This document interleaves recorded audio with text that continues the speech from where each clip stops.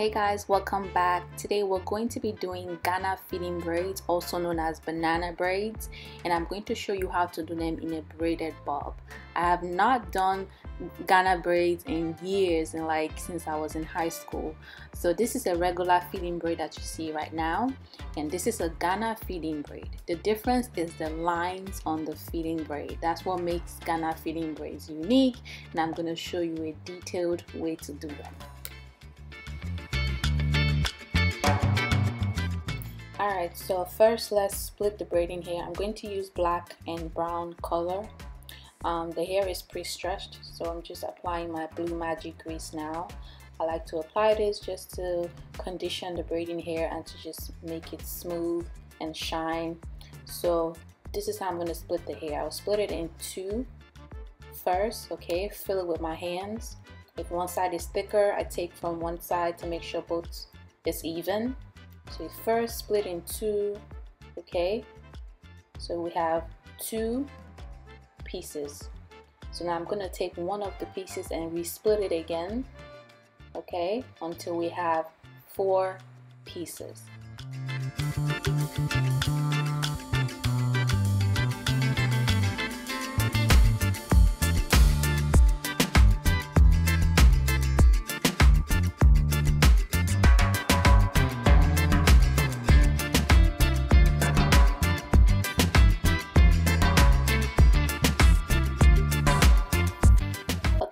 Have four pieces I will split it again until we have eight pieces. So this is basically the split and fill technique.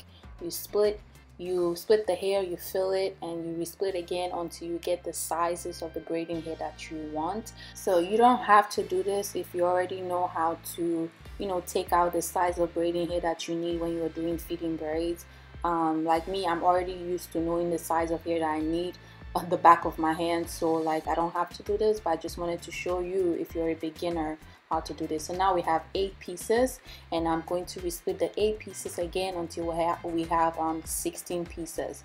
So I want to get small sizes of braiding hair because we're going to be feeding in for Ghana braid. So I will end up resplitting the hair when I start braiding because feed-in braids is like you really um, feeding the amount of hair that you need as you go. So even after splitting all of this hair, you may see me resplitting it again when it's time to start the Ghana feed-in braid.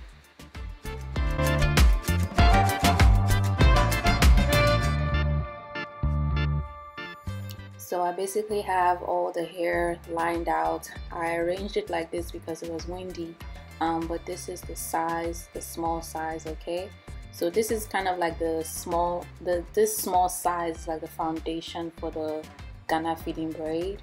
Um, I'm not going to use um, thicker piece of hair to do the Ghana feed-in braid, but I will split the small sizes again into smaller micro sizes. Okay, so now we have the small pieces. I also did for some brown color braiding hair as you can see. So now I'm going to resplit the hair for the individual box braids I'm going to do in the back um, because we're doing like uh, we're gonna do a bob and we're gonna do box braids in the back. So the box braid size is gonna be um, I'm gonna split the hair to be like eight pieces. So this eight pieces is going to give me a little bit bigger size of box braids that's a little bit bigger than medium. And I'm going to use this eight pieces this size of this eight pieces that I'm doing for the box braids in the back.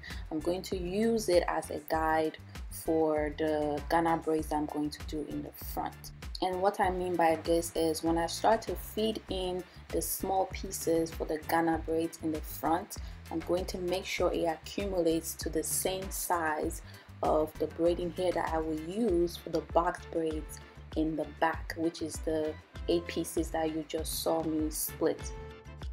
So this is my model's hair. Her hair is actually kinky curly but I blew it out. So we're gonna do box braids in the back. So I'm going to make a part around her ear level for the box braids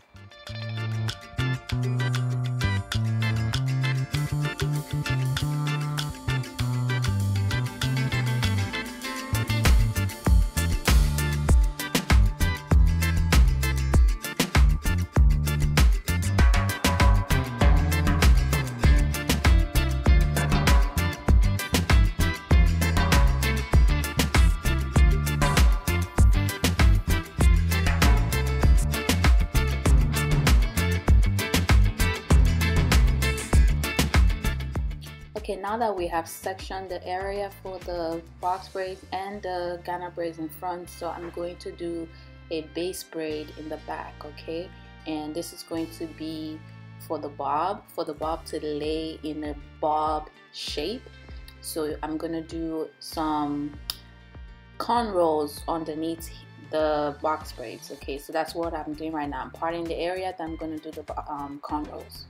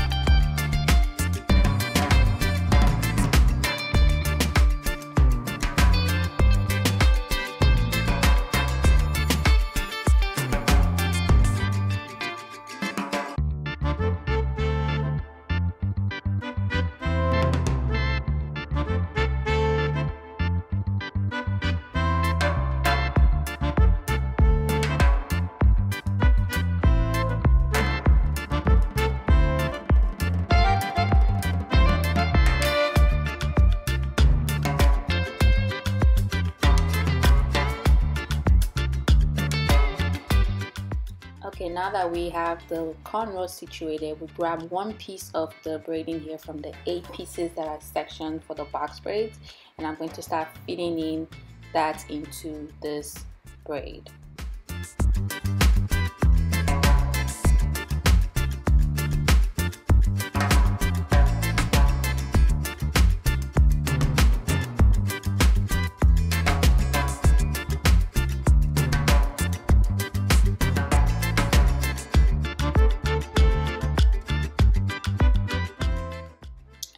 Going to stop right here on top of her shoulder and I'm going to make a knot. So this is the length of the bob that we're going to be doing today. It's going to fall on her shoulders. After making the knot we're just going to burn it with fire. Now before burning just make sure that you braid past the natural hair okay? Because you don't want to burn you don't want to burn nobody's hair okay? So I already braid past her natural hair. I made the knot past her natural hair and then I'm going to burn that knot. And then I'm just going to cut off the ends okay? And I'm going to burn the ends that I cut again just to make it nice and secure. Now as soon as you burn it you're going to notice that the braid is going to curve a little bit on the end. As you can see it's curved. So now that we're done doing the base we're going to start doing the box braids. And the base is going to allow the box braids to lay you know in a bob formation. And I'm going to start taking those um, eight pieces of, of braiding hair okay? And that's the size we're going to use to the box braids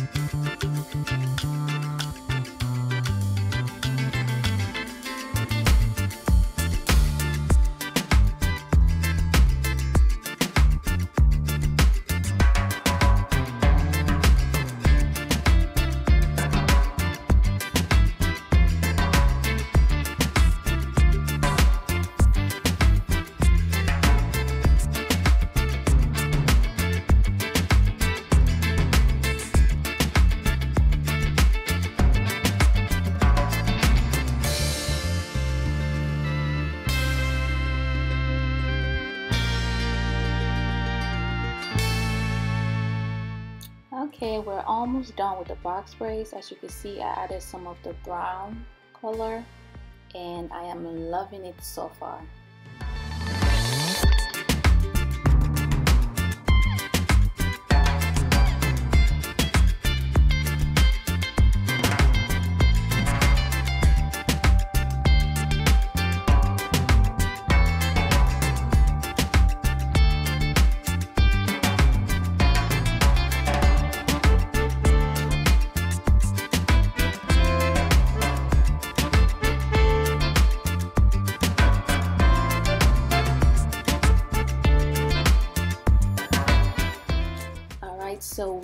Basically done with the box braids in the back and as you can see they all look like the same size. This is because we did the split and fill technique. And you can see that the bob effect is showing and everything is nice and equal. So the braids underneath that we did the cornrow is giving the box braid space to lay like a bob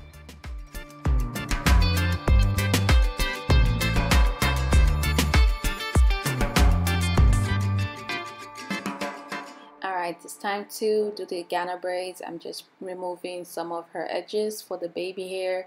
And um, if you don't know how to do box braids or if you want to learn how to perfect your box braids, I've done several videos on how I do my box braids that are very detailed specifically for box braids. So I'll leave them in the description box. So go watch those videos. They're going to help you with your box braids.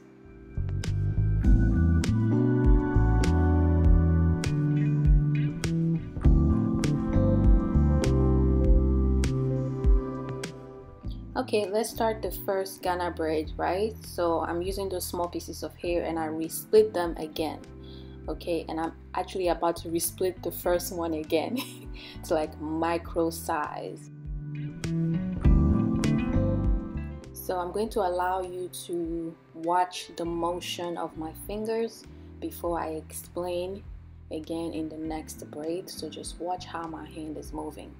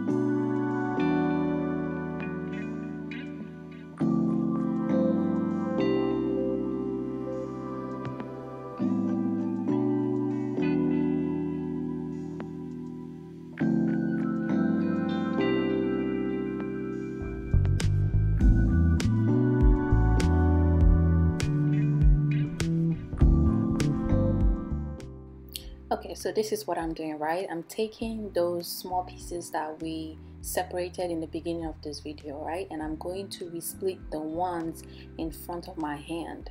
So I'm resplitting it in a progressive way. So we start from like micro to small if that makes sense. So that's what I'm doing right now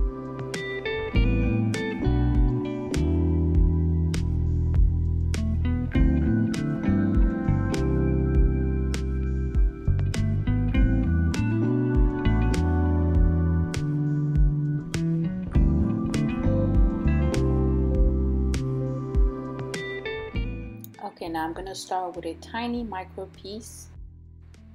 I am going to braid one, two, three, four, five, six. I'm going to take the next tiny piece, place it over my hand, okay, braid left and tuck it under on the right. Take the next piece place it over my hand braid the left side and braid the right side. So the way I am tucking it under I am making sure that the braiding hair is showing over the braid.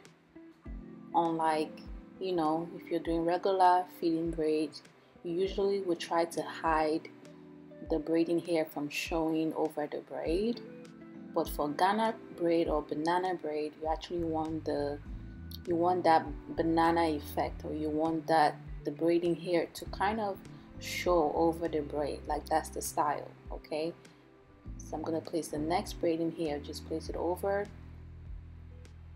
You braid to the left side you braid to the right side. So the braiding here is stopped under on the right side and on the left side okay so it's tucked under on the left side and on the right side and you just continue this motion until you are almost done with the cornrow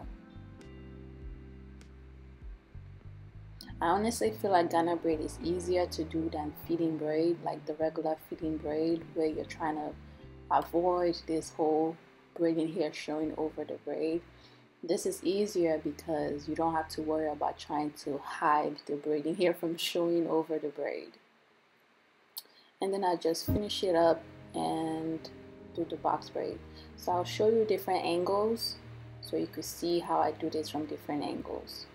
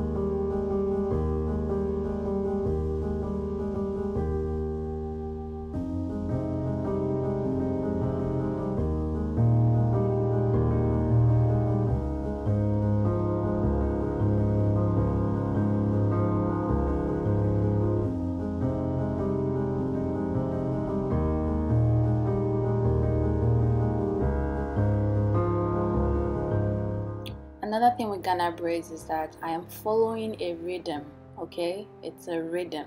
It's like okay after fitting in this hair right I'm gonna braid one two three. Take the next piece of hair. Okay I'm gonna fit it in with one two three. And then take the next piece of hair again. Feed it in braid one two and three. So it's kind of like a rhythm. You have to kind of have a rhythm because you want to um, place the braiding hair not too far from each other so that it could look like it could look artistic okay? And it could look really nice and um, to get the banana effect. So make sure you're counting in your mind as you're filling in the hair and don't leave too much um, space so this is what it looks like so far. You can see the banana effect and the bob. I love it. So now I am going to switch up the style and start braiding towards her face and just keep on watching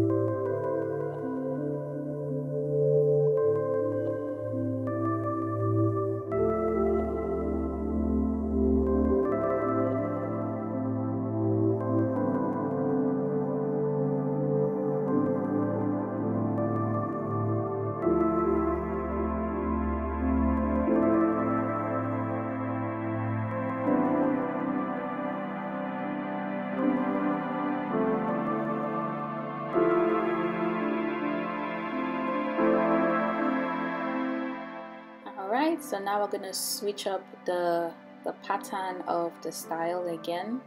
But I hope you understand the feeding concept so far. And um, one thing I want to add about this is the way you're standing and the way you're positioning your body can affect how the feeding will look. It can start to look crooked if you don't stand um, properly if you don't stand facing the the cornrow that you're doing it, it, may start to get crooked. Like when I started doing this style this this angle right you're gonna see that some of the braids were looking crooked. That's because I was doing my best to show you guys the angle and stand and record. So it was challenging along with my nails too. So yeah but I you you see what I mean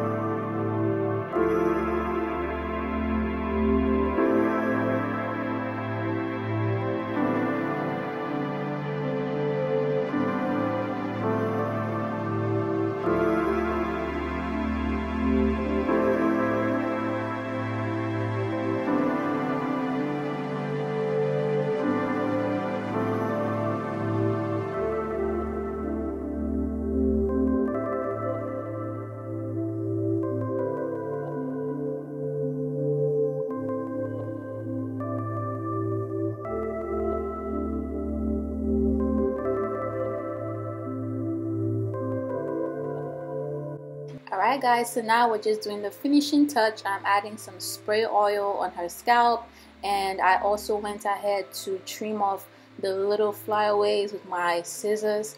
Um, I'm glad that this braiding hair didn't have a lot of flyaways. Um, I will leave the link to the hair that I used to braid this hair in the description box. I also went ahead to add some mousse and um, that's basically it. So there's no hot water dipping you don't have to dip the braids. If you use a good quality braiding hair, you will be fine.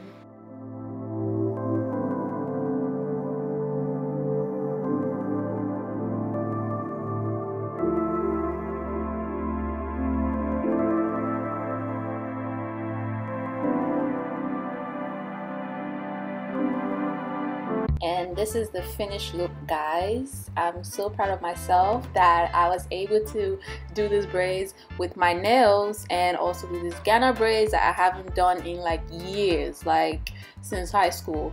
Um, but yeah it looks so good on my model and um, I absolutely love it. So this is a nice protective style and I really like that it fits my model's face. So my model is fitness model Daisy on Instagram. Check her out. She's amazing and she's a beautiful, calm, relaxed model to use for this hairstyle. So thank you guys for watching this video. Make sure you like and subscribe and I'll see you guys next time.